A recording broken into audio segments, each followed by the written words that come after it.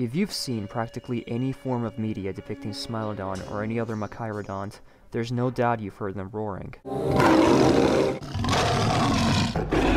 For decades, saber-toothed cats were believed to have been capable of roaring much like modern-day big cats. However, in August of this year, a study has shown that this may not have been the case after all. There are two key traits that a cat requires to emit a roar, a specialized larynx, and a specific shape and number of hyoid bones. For instance, roaring cats have a set of 7 hyoid bones, while purring cats have 9. The biggest exception to this rule in the modern day is the snow leopard. While belonging to the Panthera genus, snow leopards lack the ability to roar, mainly because their larynx isn't suitable enough despite having the required hyoid bones. Fossils indicate that Smilodon had 7 hyoid bones, much like lions and tigers. Strangely, further examination showed that while Smilodon shared a number of hyoids with roaring cats, they found them to be similar in shape to purring cats. This has led paleontologists to speculate that the shape of the bones might play a bigger role in vocalization than the amount, and that therefore Smilodon may have lacked the ability to roar and instead produced similar sounds to purring cats but at a much lower frequency, or may have even produced their own unique vocalizations altogether. It's difficult to properly conclude what sounds they made with the lack of a larynx, but when it comes to purely observing fossil remains and comparing them to those of living felids,